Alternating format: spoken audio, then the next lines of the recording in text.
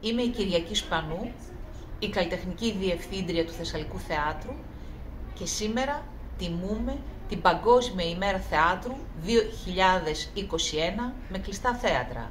Αλλά όλοι μαζί οι συνεργάτες της χειμερινής ραδιοφωνικής σεζόν Θεσσαλικό Radio Plays. Ένας χρόνος χωρίς ανθρώπων ιστορίες. Ένας χρόνος χωρίς ανθρώπων μνήμες. Ένας χρόνος Ένας χρόνος κλειστά θέατρα. κλειστά θέατρα.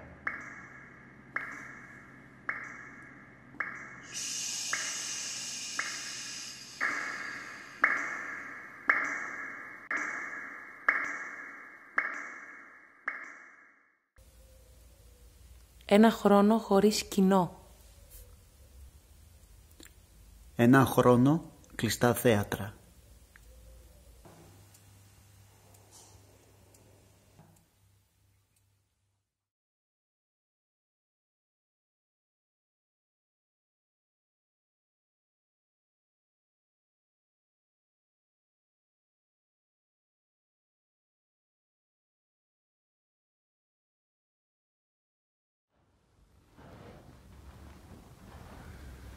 Το θέατρο πρέπει να ζωντανέψει.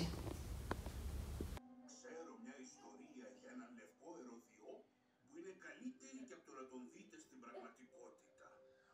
Όλα ξεκίνησαν τότε που ήμουν μικρό καβουράκι.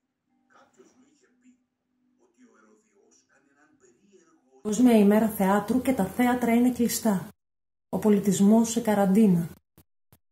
Όλα τα θέατρα έχουν την ίδια μυρωδιά. Ακόμη και με κλειστά μάτια μπορείς να καταλάβεις που βρίσκεσαι. Με κλειστά θέατρα όμως ξεχνάς αυτή τη μυρωδιά. Όπως ξεχνάς και τις ανάσες των ηθοποιών, τα βήματα πάνω στη σκηνή, στο σανίδι που λέμε. Το τρίτο κουδούνι, τα γέλια του κοινού, τον ήχο από το χειροκρότημα, την υπόκληση που συνοδεύεται από χέρια που κρατούν το ένα το άλλο.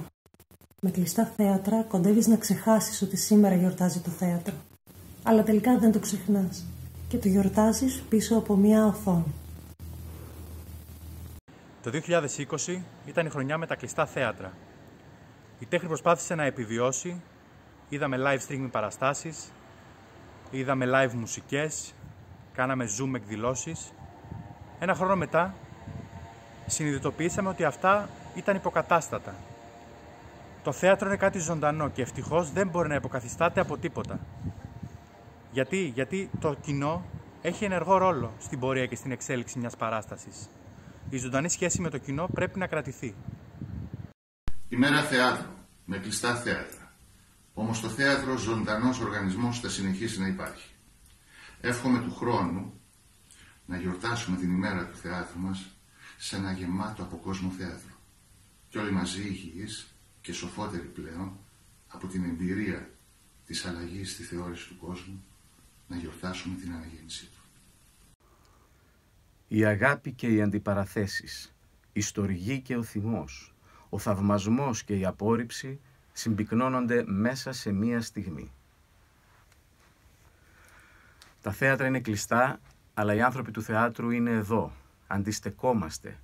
Εισβάλλουμε μέσα στην πόλη, εισβάλλουμε μέσα στο σπίτι.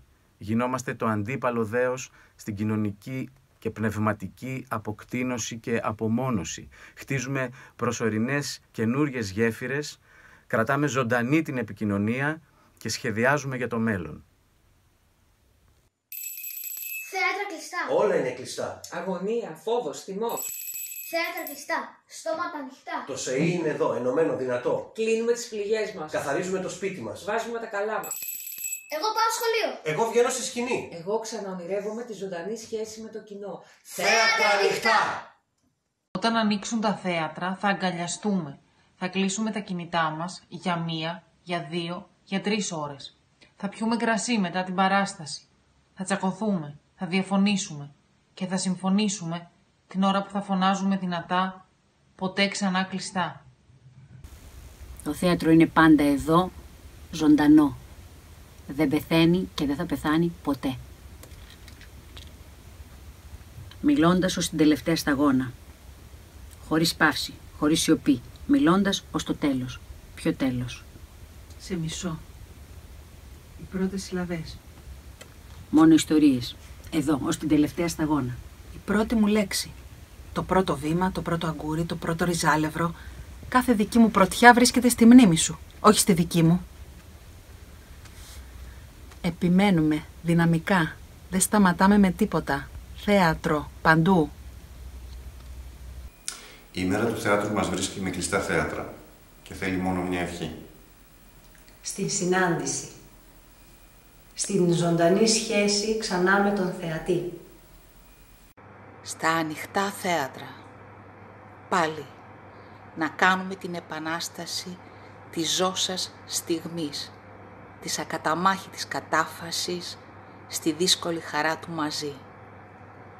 Στα ανοιχτά θέατρα λοιπόν.